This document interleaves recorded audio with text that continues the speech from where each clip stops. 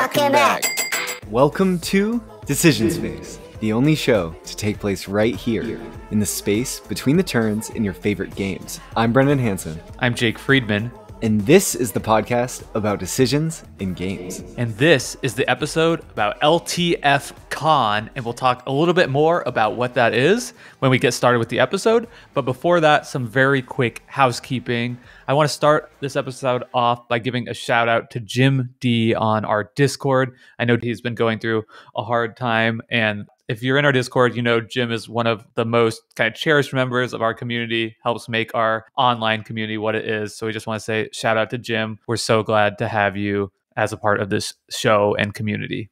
Yeah. And then we also want to just read out a review. One thing that longtime listeners or short time listeners, if you really enjoy the show, can do to support the show is by leaving a review on Apple Podcasts or anywhere else. So, and we always like to read those reviews off, especially when they're five star reviews. So this week we're reading a review from Oakland Patius titled Favorite Board Game Centric Podcast. The deep dives into what makes specific games tick is what makes this stand out from other board game podcasts.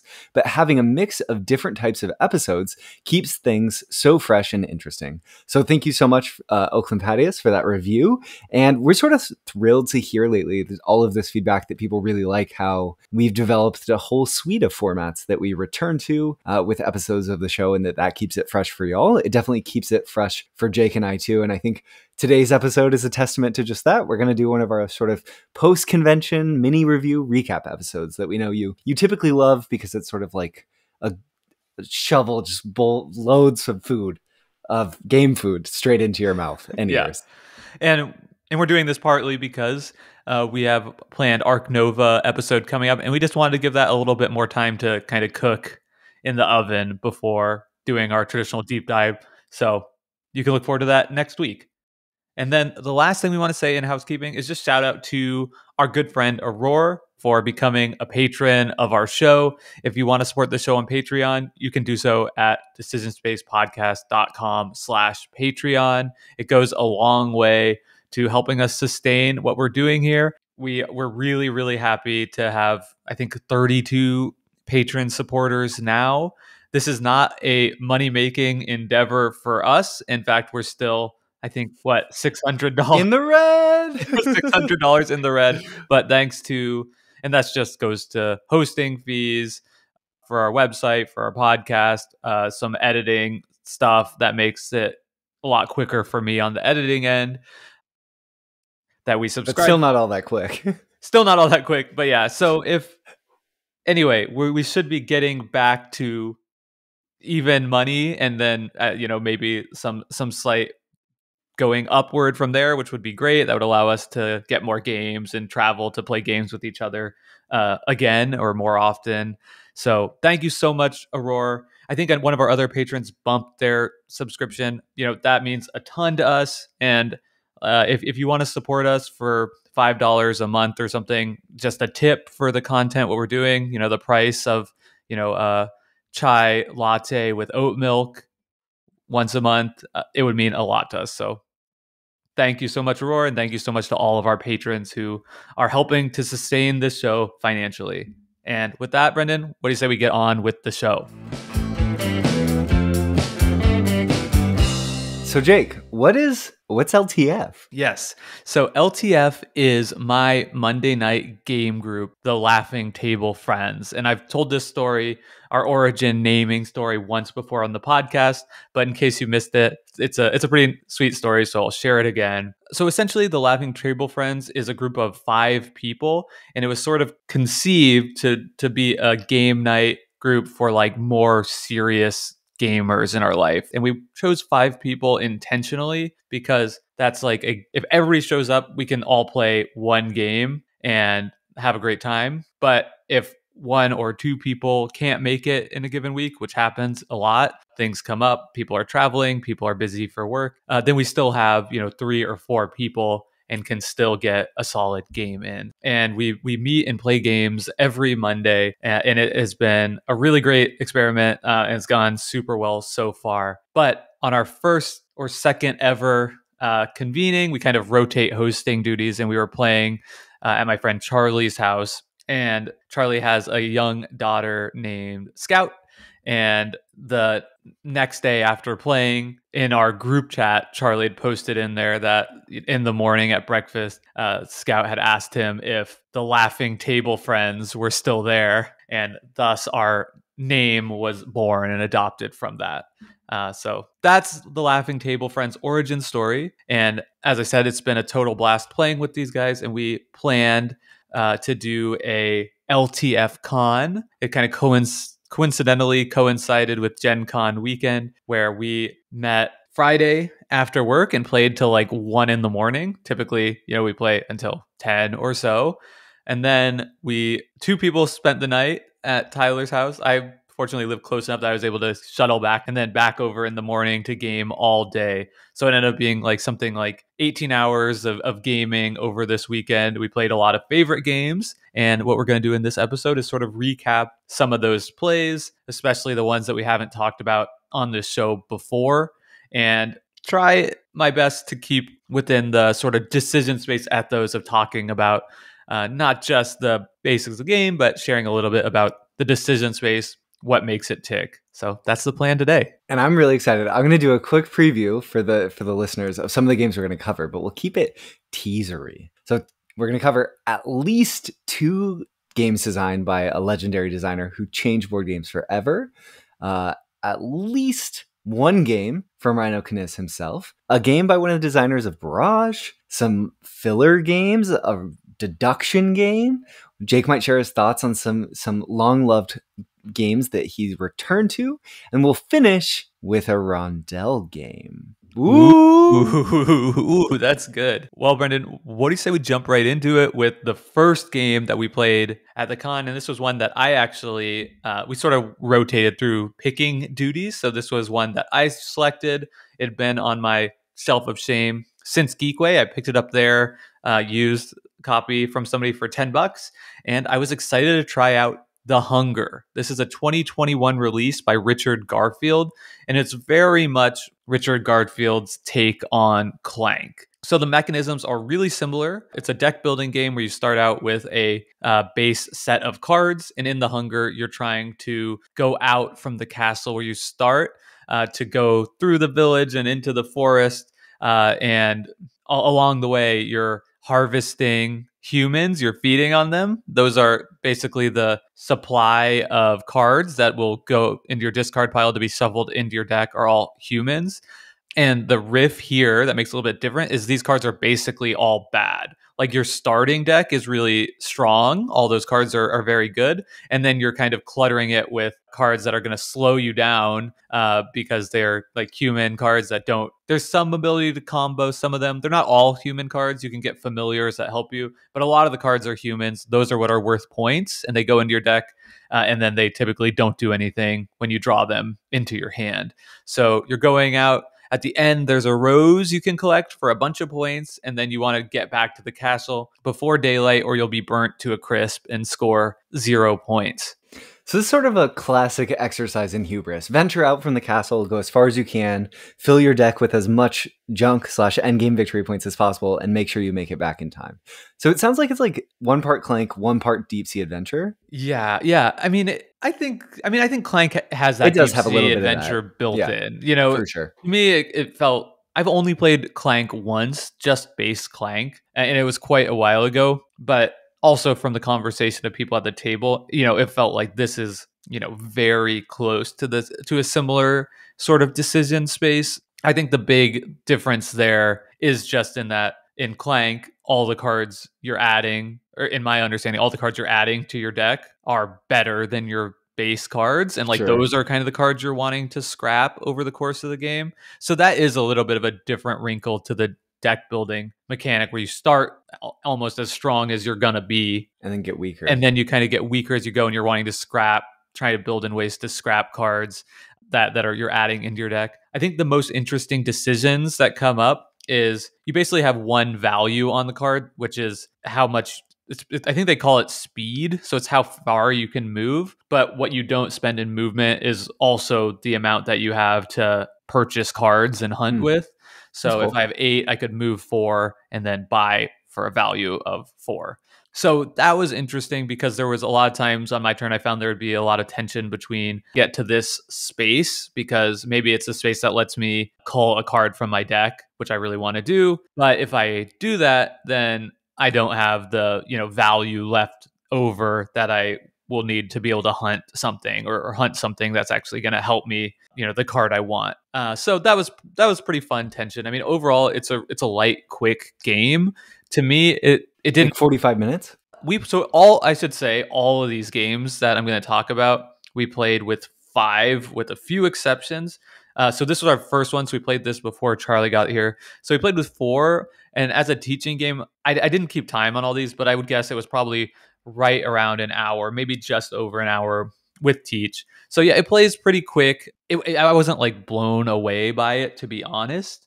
I think if you are somebody who likes Clank and has played Clank before, I think you're fine sticking with Clank. If you know, if you want to try a game in this genre, I think The Hunger is just fine one to try, especially if maybe the theme appeals to you. And I, the last thing I'll add about it, sort of from the decision space side of things, is the end game is different how it resolves in The Hunger versus Clank, where The Hunger is very much a set number of turns. You know from the beginning of the game that at Mm. the end of turn 15, that's it. You know, you have to be Mm. back or you die. Where in Clank, it's a variable. Uh, so you're like drawing more and more tokens out of a bag. And if you hit the critical mass, I guess that's the end of the game. But you don't, you, you, it becomes more and more likely. So you start to get a sense over the course of the game, like, okay, it's probably going to end this turn or next turn. But so the, having that, I think, variable ending does give it a different feel. Uh, and there was a point in our game where one of the players basically, you know, could see from three turns out, they're like, oh, yeah, I'm just dead. I'm not making it back. Yeah. My deck does not have the juice. right. And- exactly. Where in Clank, maybe the same result, but you have like more of a glimmer of hope because it's not Sure. 100% certain. yeah, interesting. So, Okay. anyway, that's the hunger. Cool. So this next game, Jake, Divide et Impera, DEI for short, is one of the games that I was alluding to as being by one of the designers of Barrage. Uh, it is from Tommaso Battista, and it came out in 2022. And I know nothing about this game besides the fact, Jake, that it is packed full of plastic. There are Oh so many minis God. in this game. Yeah. So, and I assume that Richard Garfield is one of is the designer that changed board games forever. Yeah, yeah, that's you what refer to? Yeah, Okay. yeah, you got it. Yep. Okay, nice. Yeah, let's talk about DEI. And okay, I guess so. Tommaso Battista is an Italian designer, right? And which makes sense because probably a English as a first language designer might not choose DEI as the name of their game since it has just like such a like clear, I don't know, you know, like we think of DEI as something that has like a very clear definition and it's also can be kind of like a little bit of a hot button thing. So it's just kind of a funny name. and Uh, it definitely I should say, unfortunately, a hot button thing, but yeah, yeah. well, Divide et Impera means divide and conquer. yeah, So yeah, yeah, pretty pretty different there. Yeah, yeah, Okay, great. We got that out of the way. yeah. So anyway, this is it was it was actually pretty funny. This was uh, Tyler's first pick, and Tyler is a huge fan of Imperium games. Like any game that says Imperium on it, he loves. So like Dune Imperium, Twilight Imperium, uh, Imperial, the the contention. Those are like all in his But, top but these aren't like linked. games of all They're, time. they're not like a linked series. Well, they're sort of thematically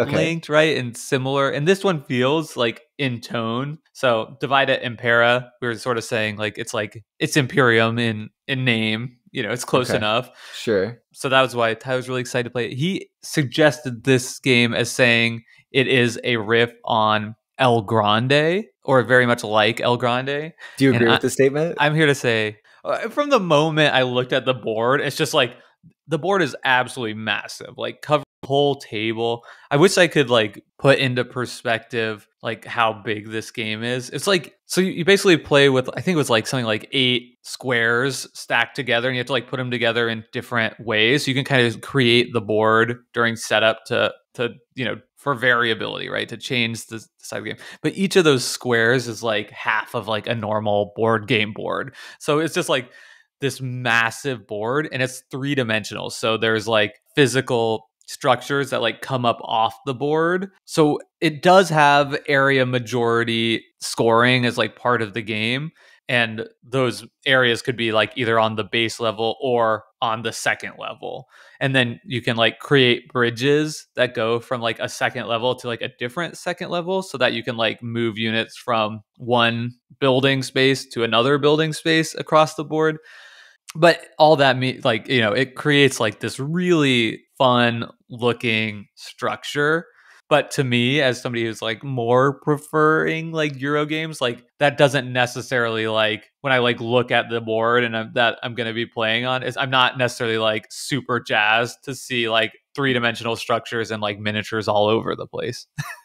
Yeah for sh- okay what is the game? So that's just i'm just like i'm setting this no so no for sure i'm with Yeah. you. Okay so i'm just game, you said area movement but Yeah. it's like this So- crazy city Yeah. So basically, you have a group, like a squad of people. You'll start with like three or four of them on the board.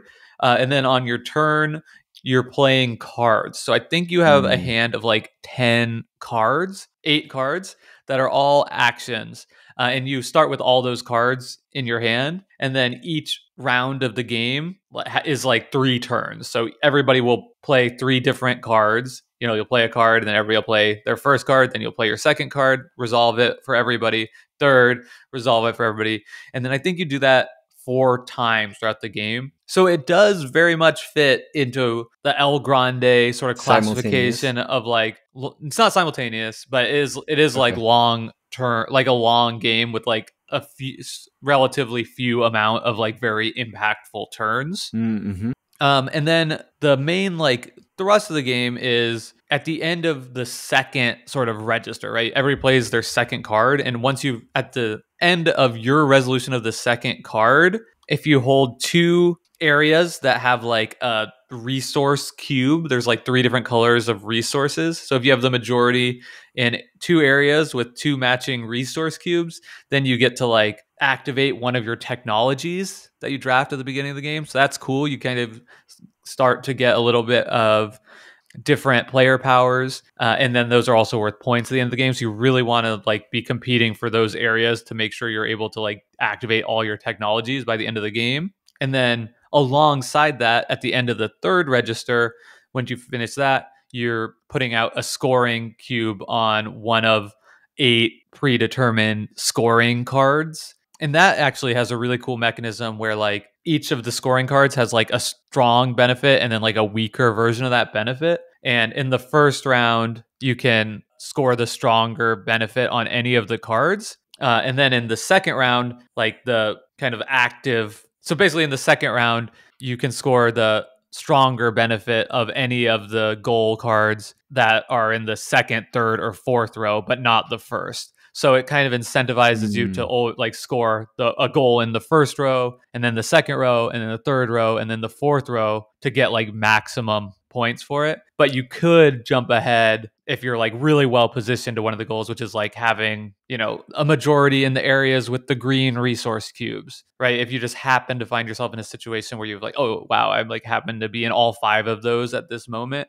I could jump ahead, but then I'll have to, you know, lose out potentially on some points later on uh, at, when I like go back to score a goal from one of the earlier rows. So that's pretty cool. And that's that's pretty much the game. The scoring is like really simple. You basically get points for your goals, you get points for uh, upgrading your technologies, and you get points for like cards. You can buy cards in your hand; those can be worth points. You can pick up resources; those are get some conversion to points at the end of the game, and that's pretty much it.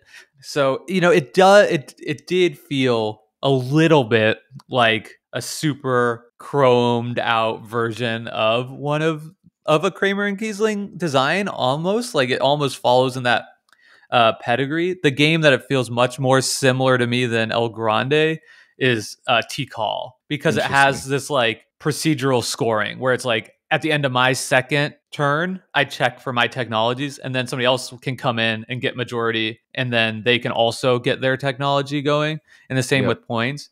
So that's pretty cool in in that way. It was it was a it was fine. It was a fun experience. I heard it's coming to Board Game Arena, so I wouldn't you know I, I think it might work well as sort of like an asynchronous game playing live, I definitely was feeling the downtime quite a bit as people were thinking through turns. I think the game probably ran, I think it was something like two and a half hours or so. So not like insanely long, but still like pretty long. Yeah. Any any other questions? I'm trying to Yeah. I'm trying to think what else to say. Were there any f- sort of similarities with Barrage that kind of jumped out where it was clear, like, oh, this feels like it was designed by one of the designers of Barrage? Did Tommaso's sort of design aesthetic come through, or did it just feel so different than Barrage that it's hard to say? Yeah, I didn't. Yeah, to be honest, I didn't like draw any comparisons to Barrage. I didn't know that that, that was Sure. the designer Agreed. when I was going Yeah. into it, so I wasn't kind of thinking in that way. I kept just thinking like, this is not El Grande. Sure, which was an expectation set, yeah. yeah, kinda, but like, I do. But there. Yeah. I do think like one one thing I would draw from Barrage to DEI for Battista's like he, as a designer, not afraid of giving players long, thinky turns. Right. This Turns, is yeah. definitely not micro turn game. I wouldn't say it's a. It's not inelegant. Like the thing that made it seem like most elegant is like how clear and easy the scoring is and relatively minimal, which I really appreciated for a game of like otherwise like kind of a grand scope on the table and just like a lot of stuff going on. It, it honestly, I think, is like less rules complex than Barrage. It just it looks like it's going to be a game that has like a lot of like little technical like skirmishy goals. There isn't really fighting at all in the game. There's like a few ways you can eliminate one of your opponent's figures on the board, but generally it's just adding more people to the board and kind of like in again like Tikal and then trying to like get majorities all, all across the board. So I don't know. It was it was all right. Uh, definitely not my favorite game, but I think it looked cool. I'm sure there's a lot of people that are really gonna dig this one. And it you know for somebody who's not always really jazzed about area control, area majority games. Like that's just generally not for me. I thought it was fine, you know. And I think like a lot of people who like that genre game will find a lot to like, especially in kind of the elegant scoring systems. and that was Divide et Impera by Tommaso Battista, or DEI. All right, Brendan, rolling right along. So the next game we're going to talk about, and this one is a doozy of a game, I have to tell you, and it is Beowulf the Legend by the Rhino Kniz, Reiner Knizia himself, from all the way back in 2005. Brendan, what have you heard about this game? Maybe we should start there. Yeah. Okay. So I know that there are multiple Beowulf games by Knizia, and I believe this is the one that lots of people are interested in. This game also came out during a period of collaboration between Knizia and Fantasy Flight Games. So this was like the era when they were publishing things like Through the Desert and Taj Mahal, at least in the United States. And I think that this is one of the games that gets mentioned by hardcore Knizia fans as like, oh, don't miss Beowulf the Legend as a game you should play. Yeah. That's pretty much the end of what I know. Okay. Yeah. it's a three to I five player game, I think. Is that right? I don't know. That It's- sounds right. We played it BGG at says five. two to five, best at five. Okay, great. We played it at five. Yeah. Yeah. So I think what I had heard going into this game is basically that, like, oh, I th- and I think this comes from the So Very Wrong About Games podcast, which is that, like, a lot of people had, like, bounced off of this game at the time. But I know, like, that Mark over on So Very Wrong About Games is a big fan of it. So I think Mm. it is a, a bit of a polarizing title. And after playing it, I can absolutely see why. So what this game is, first of all, the board is just hysterical. So it's it's like a board, but it instead of having all four squares of the board, there's just like one removed. Does that make sense to you? It's like It's a yeah. It's like if you had the little the piece in my city that's just three squares. Yeah, exactly. Two up and one over. Yeah, yeah. It's like a little L. So it Yeah, has a whole chunk cut out of the board. But then the middle of that is cut out, and it, there's just a giant shield that you put there that does nothing. So what is that look? It's it makes bizarre. it makes absolutely no sense.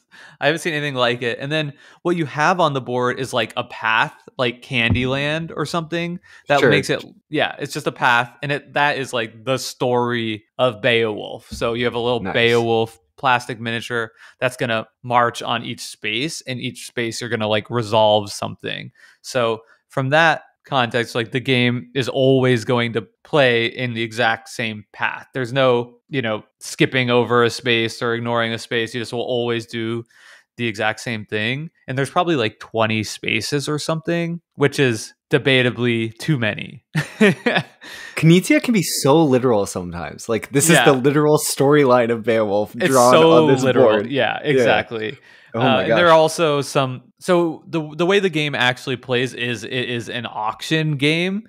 So in it's in a series of auctions. There's two types of auctions. One is a blind bid auction where everybody will play cards out of their hand, and you know whoever has bid the most will win, and whoever bid the least will lose. And everybody in between will, you know, get their respective places. And the way the auctions resolve is whoever wins takes the one piece and then they get to so in each auction space there's basically five outcomes you can get. So the person who wins gets their first choice of benefits. So they'll get something good but at t- the bottom you could get bad things too. So it, so if you lose an auction you get last place maybe you'll have to take a wound uh, or which is bad because if you get three wounds then you get negative 15 points or you get negative five points for each wound that you've taken over the course of the game or maybe just get straight up negative two points or something like that. So big a wide range of outcomes. So that's one type of auction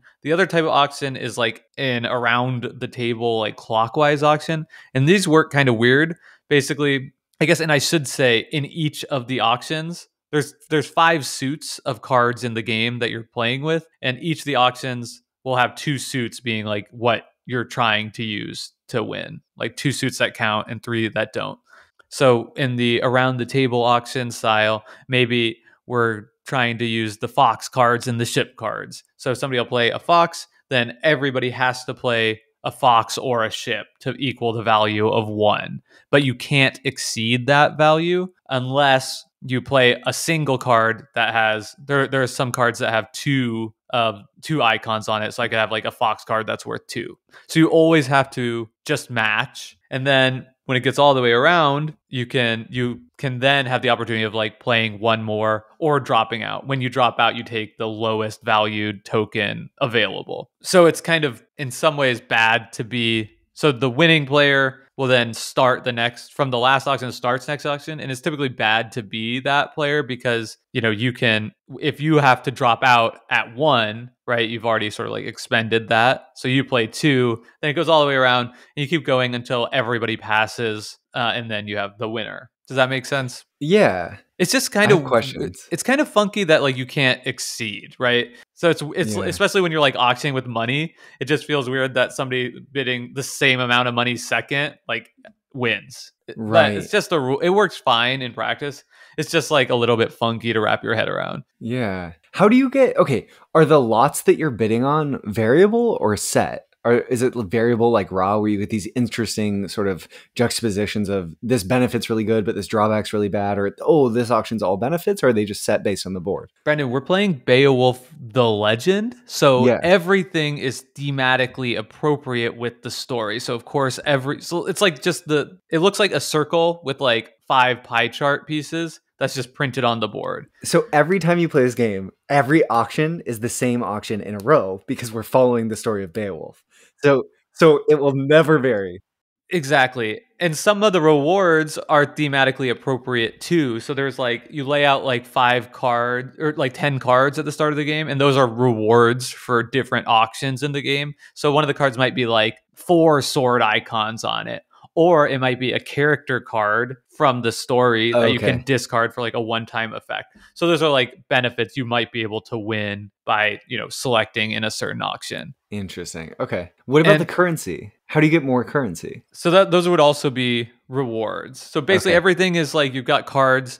Uh, you can get points or money from rewards given out from an auction, and then there are some some slot. Not every single space on the board is a straight up auction. Some of them are like you can just turn in two swords to get three points here or you can one of the sometimes it's a gold auction so instead of using cards you'll use gold that you've accrued and you're bidding with gold instead Is gold victory points? it's not directly victory points, but I think the second to last space on the board is just a gold auction where Okay. you just get victory points for it. The more gold you spend, so you just basically cash out your gold at that point for victory points. Uh, but it's not like one to one. And then some of them are just I think there's there's one spot that helps you refill cards in your hand, which is you like lay out ten cards and you draft them into your hand on based on like turn order.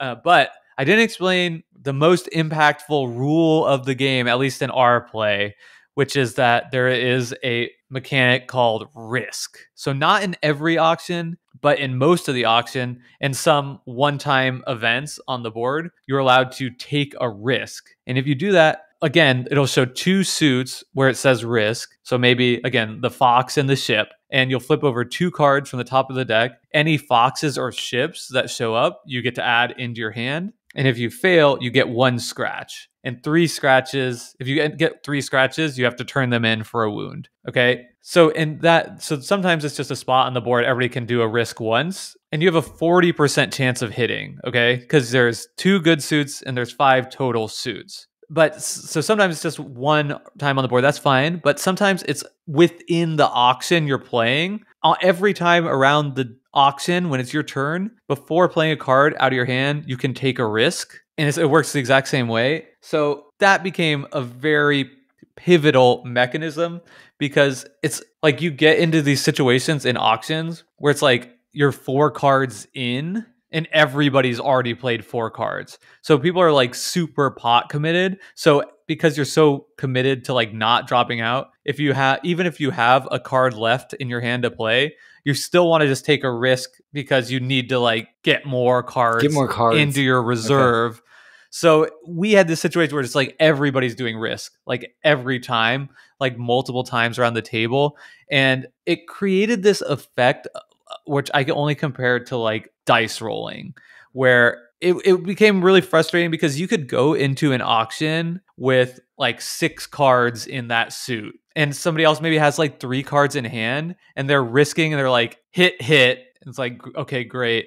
And you can also get like critical hits because some of the cards have two of a single symbol. So it's i found so i'll just say i did horrible in this game. I ended with like negative five points because I could not hit to save my life. Like it'd be like the first player's like taking a risk. They're like, great, I got two foxes. The next person's like, great, I got one. As long as you hit one card, you're fine. So maybe it's like, I got one chip. Then player three is like, wow, I got a, the double ship card and a fox. And then it's like me, miss, miss, scratch.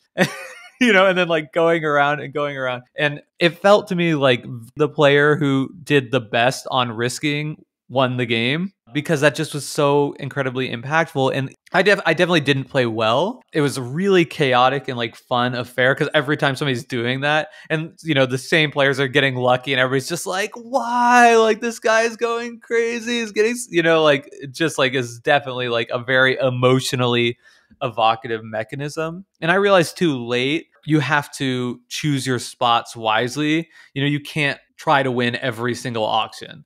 Like sometimes you might just have to pass early on and take a wound or take negative two points right. um, because you want to like save those cards for an auction later but even when i started doing that like a third or halfway through the game and i would like save up for these big auctions like it just didn't matter because even if i was going into it with like a big advantage so basically i saved up and saved up and i had a card that allowed me to like discard it to return a card from my pile to the to my hand that I like played in an auction. So I saved up to make sure I won the four sword auction. And then two auctions late in the game were involving the swords. And I was like, great, I'll be able to uh, have this sword and compete in both of them. And then like the final auction of the game, which was a really important auction uh, because the last place finisher would get two wounds because it was a dragon fight. I had like six swords going into it. It's like late in the game. Like some players had like two cards in their hand, literally, and I had six swords. I'm like, no way, I got last, get last here, and I got last because these because people are just hitting on risks like every single time. The most the, heroic. the, yeah, right. So I end up, of course, getting last despite being, I think, best prepared going into the auction. Take the two wounds, bringing me to a total of four wounds, causing them all to be negative five points. So I get hit with like a massive, like 15 point swing. I wasn't going to win even without that happening. But it did feel like really frustrating to be like, okay, but even when I like took all these sacrifices to like prepare and prepare and prepare to get as best as I can for this fight, it just like still didn't matter because people were just like rolling, you know, high rolling me just like Yep. time after time. And that How felt, long was this? That felt frustrating. 45 was- minutes? No, it was two. It was like at least ninety minutes. I want to say and that, and that was like that's my honest like cri- criticism with the game. That's pretty long for Knizia. I think the risking is fun, and I think if I played it again, I would feel less frustrated because I would go into the game knowing like, okay, this is like a very a game with an extremely high element of randomness. Not that you shouldn't be planning, but that's not really what you expect when you're going into like a Knizia auction game. Yeah. At least it wasn't sure. for me. yeah. But yeah, I think it was like too long, perhaps, just because of the fact that you're going through this whole story. Like, I don't know that we needed all the auctions.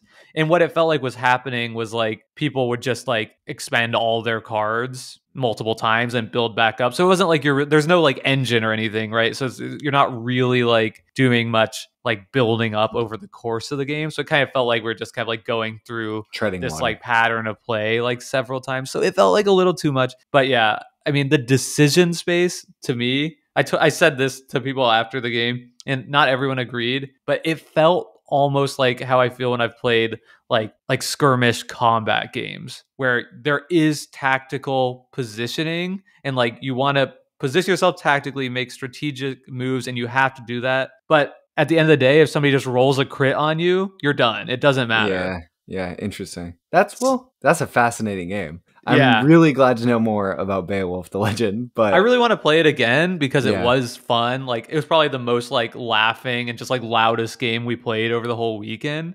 Um, so I, that says a lot, and also because I did so terribly that I want to redeem myself. But yeah, that that is some some kind of crazy board game. And probably not one that's going to become a forever favorite for you. I, I don't imagine it would be one that I ever feel like I need to own, but it's totally unique among all the games I played. I haven't played anything like that. Amazing. Okay, we're 40 minutes into the show, and I know, we've covered yeah, that, three that of- long. We got to kick it into turbo. Okay, we're kicking into Turbo. The next game is Clockwork Wars. I've mentioned this briefly on the podcast before. It's an, another one of the area majority area control games. These are a favorite of basically everyone in the LTF crew but me. So I end up playing them often with them. And out of all of these, so this is a 2015 Eagle Gryphon production by designed by Hassan Lopez. This is by far my favorite game in this genre. Uh, I love it because it plays fast. Basically, everybody has like an order phase where you're writing on paper, basically where you're deploying your groups to, a la something like diplomacy. Then everything from that is really procedural. You're just kind of resolving fights. There's like some element of where you can like reinforce, uh, so on and so forth. We played the epic game this time where you played nine rounds instead of seven. I never need to play the epic game again. I would always prefer to play the shorter version of this game just because I didn't feel like it added much besides just more length to the play.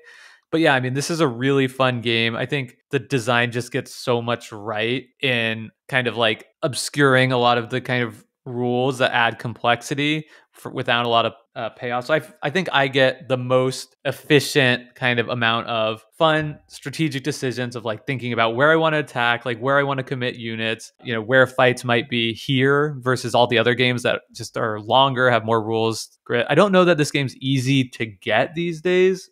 Hopefully, maybe it'll get reprinted. But if you get a chance to play Clockwork Wars, especially if you like stuff like Blood Rage or Inis or whatever, you know, that style of game where you're trying to take over areas and there's some fighting, Clockwork Wars, that's where it's at. And it's simultaneous choice when you're revealing those order cards. Yeah, so you, you write it down and then you every flips them and you just put your units out. And then yeah, it's like awesome. and then it's kind of like, oh no, like there's now there's like a fight here. Like I thought you were gonna do this, or sometimes you could just like Yeah. sneak. Like every you think everybody's gonna gonna go to one place because it's like really valuable, but then everybody thinks everybody's going there and they don't want to commit units, so you could just like sneak it with like a single unit, and everybody's like, what the hell? Like you did it, you know? Nobody That's awesome. contested Jake there. Yeah, so it's it's a really fun game, and it's one of those ones that I like genuinely have enjoyed both of my plays of. Nice. That's awesome. Okay, so that was Clockwork Wars 2015 from Eagle Gryphon Games. And those are really all of the big ones, right? That we were gonna talk about. Yeah. Yeah. So what what does that mean? Some it means it's time for a little filler interlude where we'll touch quickly on some of the filler games that we've played. And I'm looking. I don't know if I have the thing. What the heck? Is this it? No, that's not it. No.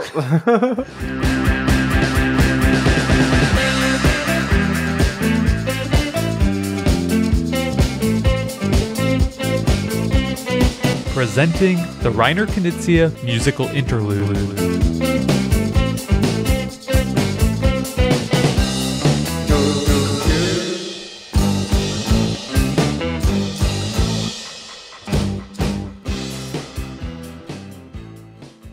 Like, I was shocked to see that these two games, well, two of the three games that were in our filler interlude are Knizia. So I saw on our Instagram over the weekend, Decision Space podcast. You could just search us on Instagram, follow us. It's new. The Jake that you were playing this Viking Seesaw game, which is literally a 3D physical ship that you're loading pieces onto throughout the course of the game. I saw this, no idea that it was actually a Reiner Knizia game. Yeah. So Jared, J Red Eye in the Discord is famously a huge Knizia fan. So he's always trying to pick up new Knizia games and fortunately enough uh, is willing to share them with us. So I think these games were brand new acquisitions. I'm, I'm not sure if they're available here in the US or if he imported them or what.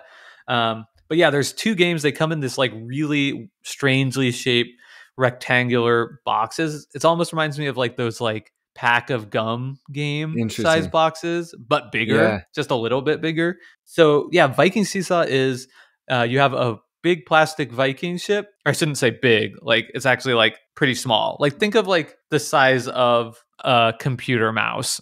Oh wow. Okay, so this is a dainty, a dainty It's ship, small, a dainty yeah. Viking It's ship. a, a small ship that has like kind of a what do you call it, like a fulcrum point in the Sure. middle. so it can And- seesaw back and forth. so it can seesaw back and forth. And it plays out a lot like Jenga, where it's going around the table, everybody's adding one piece to the side that's in the air. And if you add the piece that tips it, uh, then you have to take some. Uh, there's like six of these like cubes in the middle of the ship, and you have to take one of those, and you're basically playing to run out of all of your starting components. And there are just weird, odd components. There's like two like bearing sized balls. One is made out of metal and one's made out of plastic. There's like two metal cubes. One is gold colored and one's silver colored. And like the gold one is like significantly heavier than the others, but they're both square. And they've got like a big plastic gem thing that's like oddly shaped. Uh, and maybe one other thing. Oh, you've got like one like strangely shaped meeple as well. So you have all these like very similar kind of size things, but have different shapes and weights. Though they're all so small that some of it's kind of interesting where it's like I can tell the golden cube is heavier than the other things, but all the other things that you're playing with like are almost like they definitely have different weights, but the different weight is almost like too Trivial. minuscule to really be able to like perceive by just like picking it up. Like they all just feel like super light. So that was interesting. But you, so yeah, you go around and around and it's pretty fun. The I would I want to be pretty critical of the actual production. Like it's clear that this thing is like really like concessions I think were made to the shape of the box this was put in. And I wish everything was like sized up at least 25%. I think that would just be a more fun and satisfying game because the the seesawing is awesome, right? Like in the at, at its best when you're playing it, it felt like Jenga where you like put something down, you're like, no way it gets back to me, and then it does, and you put something and you're like, no way it gets back to me again, right? And then you like start getting that terror when like the next person before you goes and whether they mess it up or not. Like that's great. Unfortunately, like a lot of the play became like because things are just so small and the s- the angle it's on is actually like quite steep and the metal stuff and even the wooden stuff is just like incredibly slick so it feels like you should be able to like stack something on top of things, but they just slide right off into the middle. And then the game basically like if it there's some rule about like if it falls off into the middle part of the boat, then you can just like replace it. But if you knock something off the boat entirely, then you have to like take it and add it to your thing. But yeah, it felt weirdly like like I, I, think the game would be better if you could like actually set something on top of another piece without it just falling off. And it almost felt like we could get into a situation where there's just not room anywhere. So it's just somebody like trying for like 30 or 45 seconds to like get this block to like stay on it and it keeps like falling Interesting. off. So kind of a miss it i mean i had fun with it for like you know a, a 15 minute filler but I, you know i'm not going to buy a copy. If if this came out as like a, this is a game that actually needs a colossal edition. Like if a colossal edition of this game came out where you've got like an actual like big boat on the middle of your table and like fun components to play with then i think it would be an awesome dexterity. Okay but what about this next one jake? Ninja master the other Knizia game. I'll be fair to Ninja Master and say that this was the last game we played, and we were pretty loopy when we went to play it. So the way Ninja Master works is that you have eight dice, I think, and you roll in the middle, and all the dice show like one of five different colors of ninja on it a sword icon or a shuriken icon or a puff of smoke in one of the five ninja colors. And then it's like a real time dexterity game where somebody rolls the dice and all the other players have to stand in a ninja pose. And the rulebook shows you how I'm doing this for Brendan. Like, this is your ninja sure. pose. You're supposed to stand like this, yep. which is basically like you're grabbing your index finger with your one of your hands and pointing your other index finger up in the air, which just feels like I'm about to break my finger as I like rush to grab something sure. really quickly. And then you have like basically a cage that you're constructing out of popsicle sticks that you roll the dice into to like maintain the dice area. And then around that is you put these different colored ninjas. So what you want to do is grab the ninja that has the most faces shown. So like if six yellow ninja faces show up, then that yellow ninja, if I grab it, is worth six points. But if also the uh, the puff of smoke in the yellow color shows up, then instead of being six positive points, it's six negative points. So you want to kind of look really quickly to see what ninjas you're seeing a lot.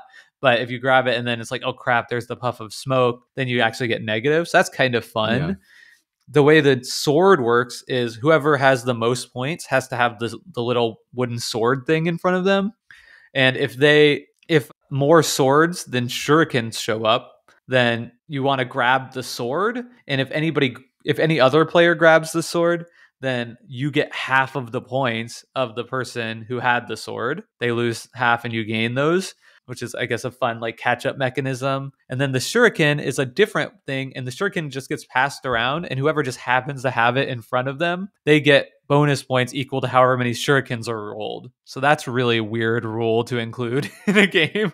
I think it makes no sense to me, but you know, I'm not Reiner Knizia, so who am I to say? All right, so we learn this rule and we go to play it and we roll the dice and the first thing that happens is somebody we just like all grab stuff and just like absolutely destroy the little popsicle stick structure and then all the dice are like messed up and like re-rolled. I wish we had on video because it's so comical like everybody's trying to grab like colliding just like absolutely like blowing up the whole middle of the board. So and that happened like multiple times. Like i don't know how it could like not happen honestly like people are just trying to like grab across from each other and it's kind of frustrating because it's like if you got something good and then it's like oh but somebody else like just like clumsily knocked into everything then you just kind of like well yeah. it's like a do-over so that kept happening to the point where we like grabbed a different dice tray to use rather than like the popsicle stick thing that was included and that helped a little bit but honestly like I don't know about this one at all. It it was a miss for me. It, you know, out of the two, I think Viking Seesaw is was much more fun. Okay, but it looks like you also played Cockroach Poker. Yeah, and then we played Cockroach Poker as as our other filler game. That was really fun. Uh, this was my first experience with Cockroach Poker. Um, basically, you draw a card off the top of the deck. There's like eight suits, and you hand it to somebody, and you say like, "This is." You you pick one of the suits, and you either say it is that suit, or you say it's, or, or you you pick a suit and you say this is a cockroach, or this is a stink bug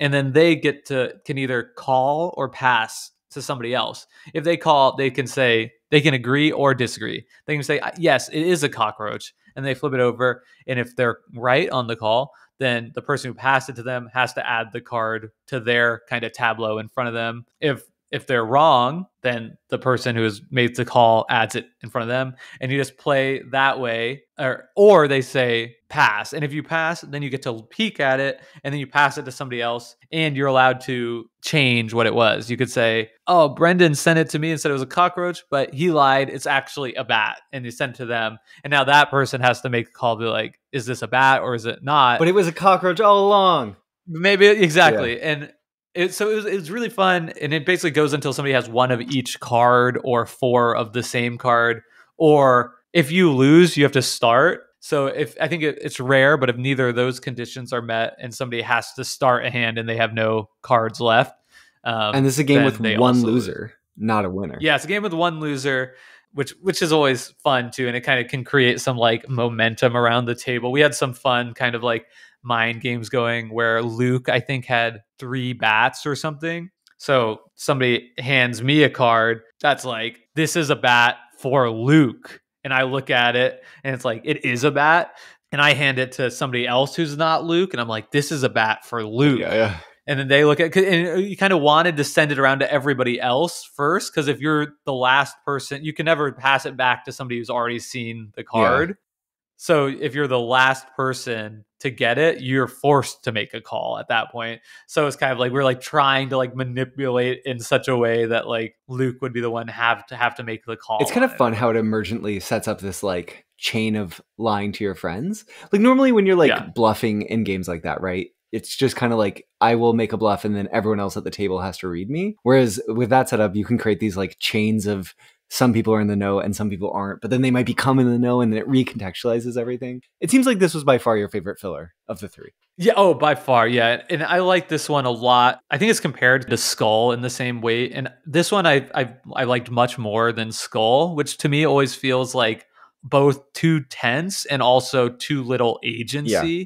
Where here it feels like you have more ability to kind of be flexible, manipulate the game, and also just like have fun. And it it doesn't like take like Skull's almost like too short, right? Because I feel like, oh, if I mess this up, then that's like halfway to victory for somebody else, or I lose one of my like four things that I have as resources. Where here, it felt like it was just a little bit more playful uh, and cool. Fun. That's awesome. I have not played Cockroach Poker yet, but I would love to. That's when I I need yeah, to just snag it. It's like five dollars. Totally, yeah. It's one I would recommend to anyone. I think you could play with anybody. It's totally a family game, totally, but also worked great with our quote unquote serious gamer convention weekend. Well, and one thing I learned, so one learning takeaway, Cockroach Poker is actually designed by Jacques Zeimet, who's also the designer of Ghost Blitz, another sort of notably notable party-ish game. Uh, so yeah, that's pretty cool. I'm glad you got to play at least one filler game you really dug. We're kind of running up on time, so I think maybe we'll get rid of one of the games that we have listed here, which we can touch on in our future social deduction. Great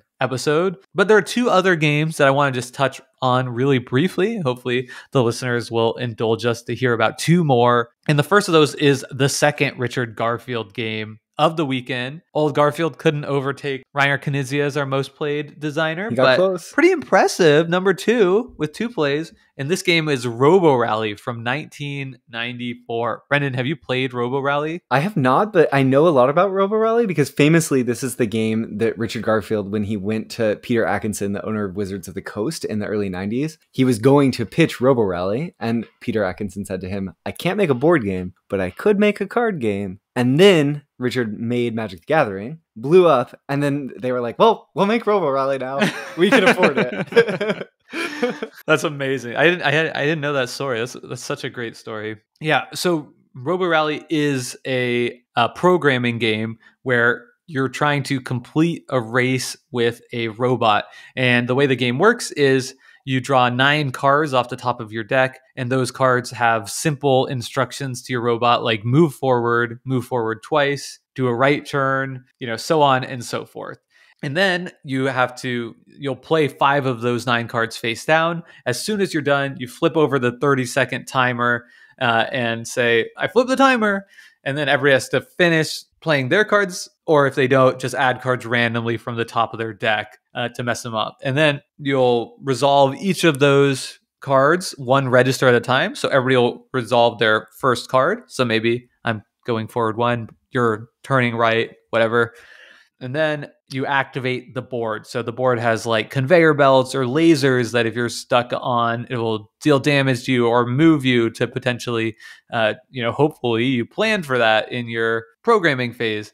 Uh, but also you can, you know, run into somebody else's robot, which they likely didn't predict, and then before you know it, they're on a conveyor belt heading straight for a hole in the ground, and they'll have to start over. So you basically just do this. You, there's a simple like upgrading phase where you can you start with some resources and there's ways to get extra resource cubes if you land on those spaces. Or one of the cards in your deck i think just gives you a resource cube uh, so you can add fun stuff to your deck er, to your robot which is like oh my my robot by the end of the game had lasers that dealt two damage and damage means you just have to add like spam cards they're called into your deck uh, which is going to clutter up your hand make it less likely you can do the movements you want uh, and my laser also bumped people one space. So that was really fun. I actually got to play Kingmaker, but in a really fun way where I was, we played to two checkpoints. So I hadn't even got the first checkpoint because I'm an idiot and could not manage. it's also a really chaotic game. it's really chaotic, but I just like shot myself in the foot where I was like thought I would be somewhere where I just was not, and then I was just like doing wrong. So instead of going for the checkpoint, I turned around, turned left, and just sniped somebody who was literally on the flag, pushing them one space and then causing them to like basically get totally screwed over. And the next, the person who was kind of coming in second place ended up winning the race which I felt great about. I don't know if the I don't know if the would be winner felt so good because literally sitting on the flag, and we had to look up in the rule book like how does this resolve? Does he just get it now, or does it happen at the end of ev- the register? It was the latter, so he got bumped off it. But yeah, that's Robo Rally. It's a super fun, light, family style game. game. What? Yeah. See what yeah. happens. Yeah, yeah, it, yeah it, it's fun. It's chaotic. I mean, somebody is going to end up just getting totally hosed, and then you know, it definitely has a snowballing effect once you've got a bunch of damage in your deck, and then you can't do anything that you wanted to the good recommendation with this one is like don't try and do a long race because I yeah. used to own this game. Actually, the copy we played was a copy I had given to Tyler, so he, he saw it in my going out pile, the game comes with a bunch of boards, so you're kind of like, be like, oh, I want to like set up a big race to do like multiple boards. Like, do not do that. Play the small version. We played a small yeah. board, and we had two different checkpoints on it, and that was about perfect, if not like just slightly too long. But yeah, it was a it was a it was a total blast. So definitely recommend. You know, if you get the chance to check out this old school Richard Garfield game, it's still fun today. Yeah, and that's Robo Rally. Jake, I'm really intrigued about this next one. Can I introduce it and then you yeah. can run with your thoughts? Okay, so we have been on a Mac Gerdts kick for a while, though Mac Gerdts is the designer of games like Imperial 2030, Concordia, Navigador, and also Transatlantic, but well known for his first design, w- which was a Rondel game that came out in 2005.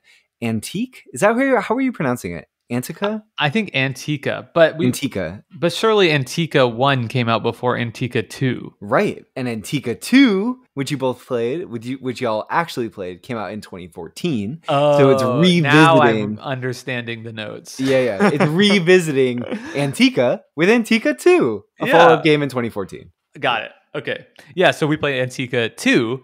Um, and this is, I, I, guess, almost a civilization game feel. Yeah. Uh, you start out with, you know, a couple of cities on one part of the map. I think the map we're playing is like large, is is like essentially the it's the Mediterranean. Mediterranean. It's like the Fertile Crescent type. Yeah. yeah it's kind of hard to like know like where places are because I'm pretty sure it's in Roman esque script or something. It's like, what are these places? Is it not, Brendan? No, it's the Mediterranean. You got it. You're you're doing great. Okay, you're like yeah. you're like it's like saw you like squinting. I was, I was just was laughing because I got my starting cards. Like, okay, put one of your cities in each of these three places, and I'm just like squinting at the board. What are these things?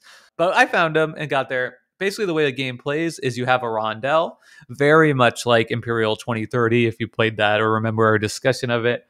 I think there are like eight spaces on the rondel, and you can move between one and three spaces in each turn, or pay a resource to move further for each resource you spent. Uh, the actions are all super simple. It, it really felt like streamlined, simplified Imperial 2030 in the way the actions worked. You're basically getting gold, marble, or iron. Those are three of the resources, and you get one for each of your city that cities on the board that produce that resource. Plus, every, I really like this as just like a nice feel good thing that kept things speeding along nicely. Which is every single time you produce any resource, you also get one wild resource in addition to it. You can also take an action. There are two action spaces to move your units. This is how you would like attack people's territories or temples. There's buying units for iron. There's buying temples for marble. There's uh, doing scholarship for gold. And uh, there might be like one other action space, but maybe not. Um, Uh, but that that very much the the thrust of the game. You're just doing one of the simple actions. It's it's super micro turn feel where it's just whipping around the table really quick because it's super easy to pre plan what you're gonna do with your next action. Um, and typically, you're I, I, felt a lot of the decision space for me was sort of around. I was going for a military strategy, uh, so I really wanted iron. So it's a lot of it was like, how do I get back to that iron space quickly? Because I was like generating a lot of resources and able to use them uh, and, and figuring out like, you know, the nuance of making my way between the iron and the buying units and the moving units and trying to do that in an efficient way. Um, I ended up taking over like so many territories on the top of the board to build out my economy. But while I was doing that, other people were boosting their economy with temples, which if you get a temple, that helps you produce like three times the resource there, and doing scholarship, uh, which basically gives you tech that that makes you more efficient as well. So those are kind of the three I think main strategic paths: military, temples, and scholarship. The way the? Oh, the way the game works is you're it's a race to eight points, and there are and there are all these different achievements that you can be getting, uh, which each score you one point. Uh, so like the scholarship's really interesting because each scholarship, each tech that you would research has two different costs a higher cost and a lower cost. If you're the first person to do it, you get an achievement for researching it, but you have to pay the higher cost. And then anybody else who wants that can pay the lower cost. So that was really cool because somebody would be like, all right, I'll pay the nine coins to, you know, get this enhancement. Uh, and then it it made a lot of sense thematically because then it's like once it's been researched, it kind of like opens the doors for like other civilizations to like start using that technology as well, and you get it for the cheaper cost. So that was really cool. Other achievements are for like controlling every five cities that you control. You get an achievement. So I got up to like ten. So I had two of that achievement.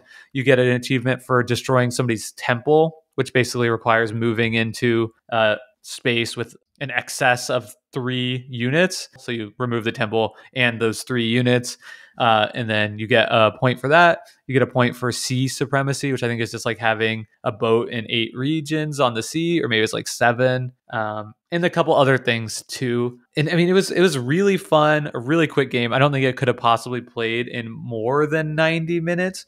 I felt as though in my play that going the military route that my economy was just like so far behind everybody else's who were going for the temples and really like enhancing their income uh, way more. But one thing I had misunderstood in the rules, because I think because of the way the temples work, you remove it from the game. I thought that like taking over somebody's city, you would like remove their city from the mm. game but in reality you just keep that city and like add it to yours like you replace it with your own city. So i was not as like the biggest military faction on the board. I wasn't pushing out into other people's. I was just trying to like claim my own area.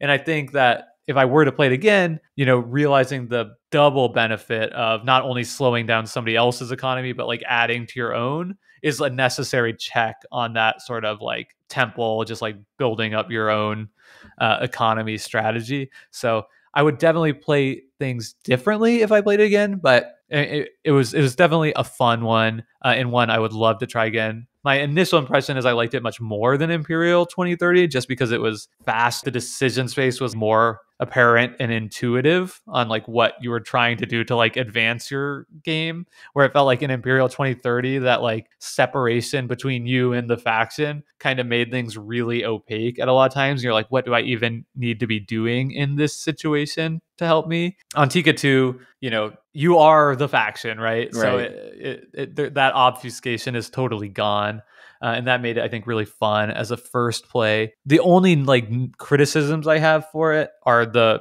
fact that it's just like the board itself is just like it, you know this is like the Mediterranean. It's a, it's bland, yeah. It's the theme and board could not be more bland, and the the board like oddly looks like it's like in low resolution or something. Like there's these like laurels on the victory track that look like they're way less resolution than the rest of the board. And and there are other like things on the board too. Like even the rondel spaces itself is just like what happened here. It looks like late 90s Photoshop, not 2014 graphics. yeah, yeah, yeah. I'm like surprised that it, it feels like yeah, 20 yeah. 2005 would make more sense for the yeah. design than 2014 and maybe they were trying to preserve the feel of the of the original. I don't know. Sure. Yeah and but all of that i mean that's like that's the the set dressing which did nothing for me. Maybe some people like that kind of like old school mediterranean civ building vibe and, and it would you know that's always going to be subjective like the theming. But the gameplay itself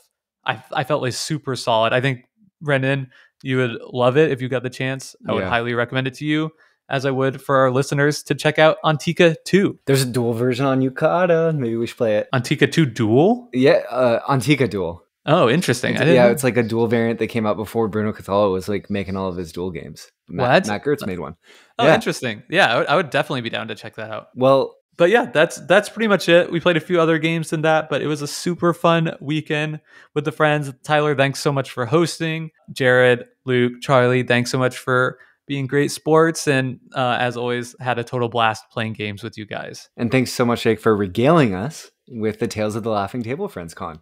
Next week for all of our listeners who are pre-planners we're going to cover Ark, Ark Nova in a deep dive. That one's a behemoth uh, so Jake and I will share our thoughts on one of the, I think, most celebrated games of the last three, four years. Uh, so get excited, get ready. It's on Board Game Arena if you'd like to give it a whirl first. As always, you can learn uh, more about Decision Space by going to decisionspacepodcast.com. Make sure to follow us on our Instagram. Just search Decision Space on Instagram and you'll find us. It's brand new. And thank you to Hembree for our intro and outro song, Reach Out. Until next time. Bye, Bye y'all.